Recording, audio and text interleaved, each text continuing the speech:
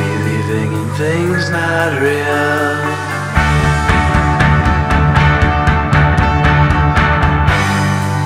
It's not that big of a deal.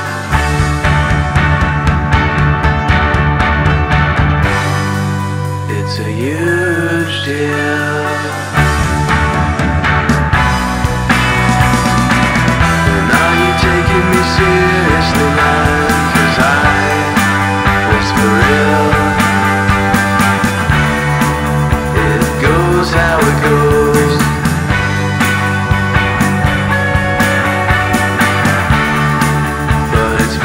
on you.